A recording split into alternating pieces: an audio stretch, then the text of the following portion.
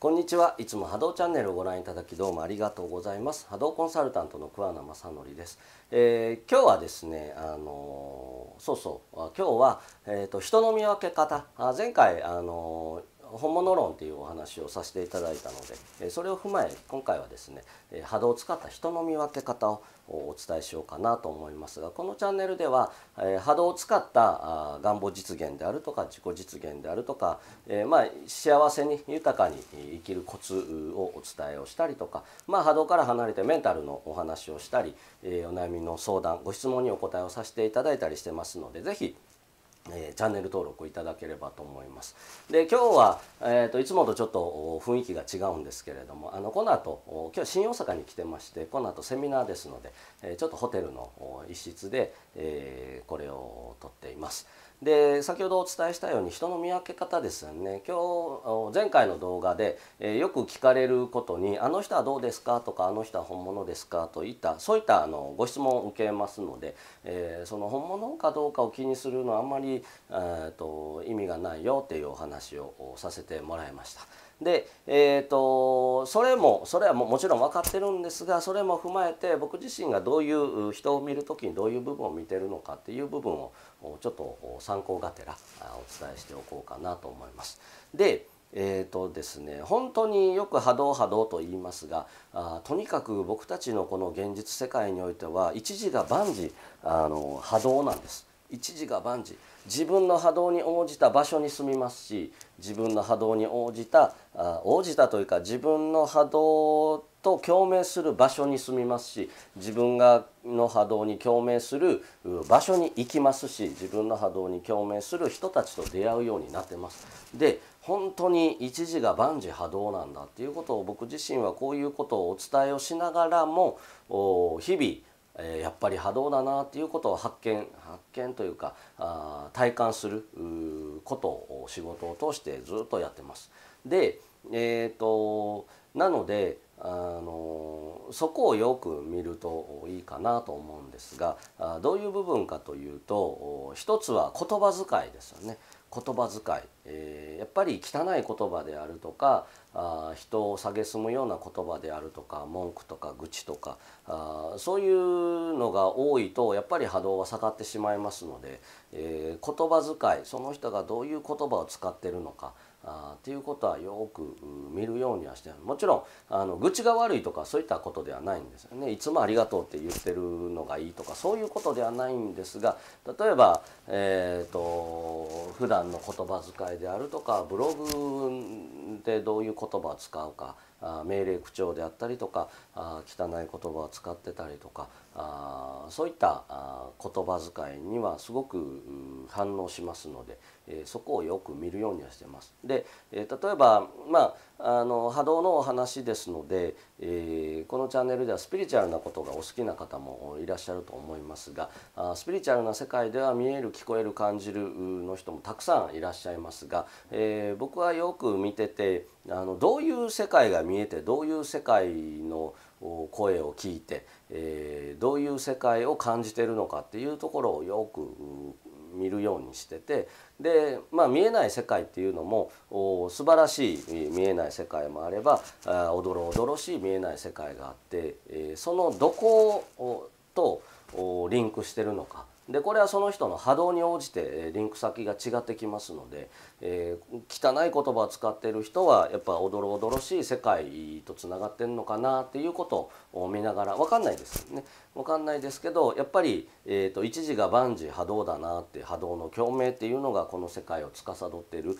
絶対の法則だなっていうことを感じてますので、えー、見えないと見えない世界とはいええー、どことつながってるのかっていうことはよく見るようにはしてます。でそのうちの一つがあやっぱり言葉ですよね。えー、どういう言葉を使うのかまあ僕もあのもともと関西の言葉の荒い地域の出身ですのであんまり人のことは言えないんですけどおでもお例えば文章で書く言葉とかはあの気をつければできることですので、えー、そういった部分をすごく敏感に察知してしまうので、えー、そういう部分を見るようにはしてます。あとはですね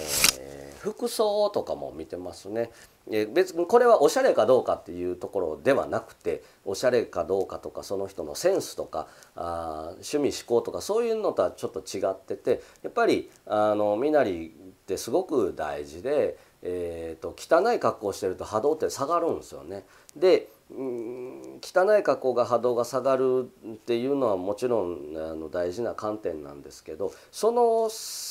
汚い服装に、えー、マッチする波動だからその汚い服装をするんですよ。そ自分の波動がその汚い服装にマッチして違和感がないからその服装をするので、えー、やっぱ波動としてはどうなのかなということを感じます。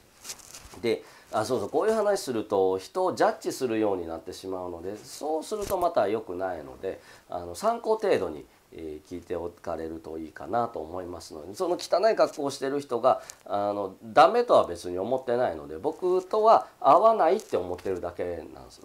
なんだろう難しいですね。難しいんですがあの好き嫌いは全然あっていいので、えだからといってその人を否定するのは正しい否定するのは間違ってるかなと思ってるんです。で、え正しいか正しくないかと好きか嫌いかっていうのは全然別の話ですので正しい正しくないはジャッジになります。で好きか嫌いかっていうのは自分と合うか合わないかなのでで嫌いなものと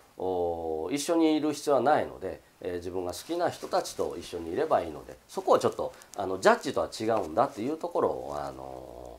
認識しておいていただくといいかなと思います。で、えー、服装は見てますね。えーなのであんまり小汚い格好をされてる人とはあの距離は置くようにはしてますだからといってえおしゃれとかそれは全然関係ないのでえもちろんおしゃれである方があ人からあの好印象は与えることができますのでそこは、えーと、ご自身を自分を磨くっていう部分でされるといいかなと思いますがあそれとあとですねもう一つ香水ですね香水がきつすぎる人はちょっとあのなんていうのかなあ合わないので、えー、距離は置くようにはしてますからねこれも間違ってるとかそういうなことではないので波動が合わないっていうお話ですのでそこを気をつけられるといいかなと思います。で、えー、あとですねうん僕の中で結構基準としてあるのは一つのことを続けて11年以上乗り越えてこられた方かどうかっていう、まあ、僕が例えば人に指示したりとかそういう時の話ですけどね。あの友人関係とかあのお客様とかそういったことは全然そこ今からお伝えする話はそういうとこは見てはないんですが「あの人本物ですか?」とか「あの人どうですか?」とか聞かれる人は参考にされるといいかなと思うんですが11年以上一つのことを例えば起業して11年とかあなんだろう何か事業を始めて11年とか11年って一つのサイクルになってて、えー、何かを始めて11年かけて物語が完結して、えー、大きなあのまとまったエネルギーが入るというかエネルギーが入るというとちょっとスピリチュアルですね、えー、まとなんか大きなステージが上がるっていう感じになってるんですがこれが途中で終わる人がやっぱほとんどでで11年ずっとやり続けた人の言葉と途中で終わった人の言葉世界観考え方経験値でも全然違いますので。えー、で11年かけて完成させて次のステージにっていうふうになってますので、あのー、11年続けられてる人の言葉より、えー、僕はよくなんだろう学ばせてもらうようにはしてます。だからといって11年以上以内の人から学ぶことはないかというとそうではないんですがあの特に11年以上続けられてる人はおっと思ってあのなんか参考になることないかなと思うよりあの聞く姿勢を持つようにはあしてますね、えー、そういった感じですかね、えー、言葉遣い服装あと匂いそれと経験ですね経験。えそれがすごく大事かなと思いますので是非、え参考にしていただければあいいかなと思います。でこの波動チャンネルではそういった波動に関してのよりよく生きる考え方とかスキルそういったものをお伝えしてますので、えー、この情報が良ければチャンネル登録といいね高評価ボタンを押していただければと思いますし、えー、お友達で、えー、必要な方がいれば是非え、シェアいただければとても嬉しく思います。いつも波動チャンネルをご覧いただきどうもありがとうございます。